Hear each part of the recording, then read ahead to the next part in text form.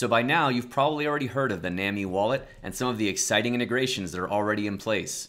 Looking to see how you can get it installed and how you can get started? Let's figure out how together.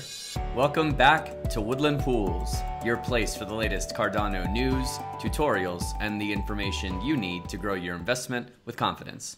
Today, let's take a look at how to install the NAMI wallet. Let's jump in. So there are a lot of wallet options out there, and we have tutorials on Daedalus and Yoroi and some of the others. So you might ask, well, why NAMI, right? So NAMI is kind of interesting in that the main difference is that NAMI can be injected into the browser context and connected to any website in order to interact with dApps. So if we think about something like Daedalus or Yoroi, you can send and receive ADA, you can delegate to a stake pool, but you can't yet interact with anything like SundaeSwap or any of these other things that run their own page. You can't connect your wallet to that, similar to what you can do in the Ethereum ecosystem with something like MetaMask. NAMI is the first and most popular wallet to date that does this kind of work that interacts with a given website and lets you link your wallet. So keep in mind that for several reasons, which they actually detail here in the FAQ, NAMI doesn't necessarily play very well with Daedalus and Yoroi if you're going back and forth between them.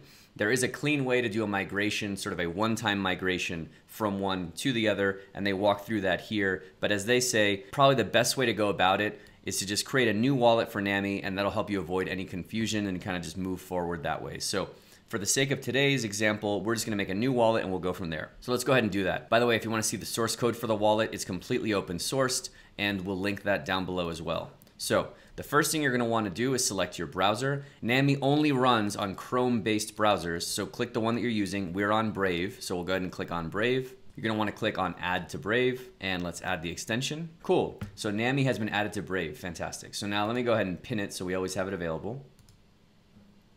Great. So we've got our NAMI wallet here, and we're good to go. So let's go ahead and open up our NAMI wallet app and it says, welcome, let's get started and create you a wallet. We're gonna go ahead and do a new wallet. And as we always say, the seed phrase that you're about to see is the only way that your keys are created. And additionally, anybody that sees this phrase can also make an exact duplicate of your wallet. So as always, make sure nobody's watching the screen and nobody can see this. So let's say I accept and hit continue. Okay, so you're gonna get a seed phrase just like this. Obviously, we just said don't let anyone see it and you're looking right at ours, but this is just a test one for this video and we're gonna delete it right after. But for yours, what you're gonna want to do is get multiple pieces of paper, two or three ideally, and write the seed phrase down two or three times on separate sheets of paper that you're gonna store in separate secure locations.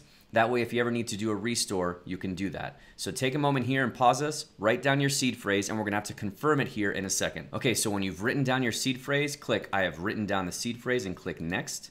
And now it's gonna ask you to confirm all 24 words of your seed phrase. So let's go ahead and do that. Go ahead and enter your 24 word recovery phrase and we'll do the same and then we'll continue from there. Okay, when you've entered all 24 words, go ahead and hit next.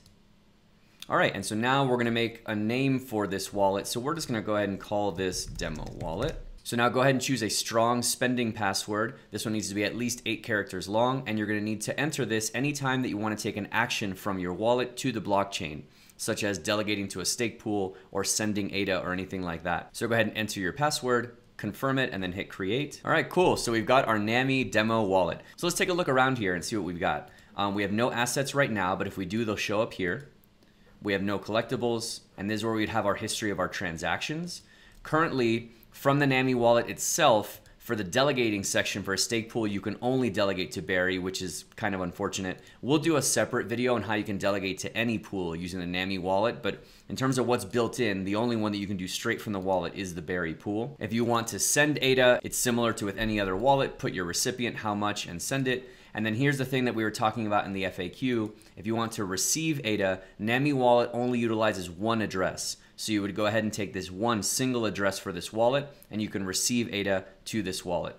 The one other thing I want to point out though here is that this little icon up here, if you click on this, you can see your demo wallet. You can create new accounts, which are sort of like sub accounts that are tied to this wallet. If you don't know what that is, don't worry about it. To keep it simple, we're just going to leave just the one. You can also connect a hardware wallet if you'd like. And then in settings here, if you're doing any kind of work on the testnet, for example, as we were filming this, SundaeSwap just went live in the testnet, you can come to settings, you can go to network, and you can switch from mainnet to testnet for which network you want your wallet to interface with. So I click on testnet here, I'll see a little icon on the bottom that tells me I'm on the testnet.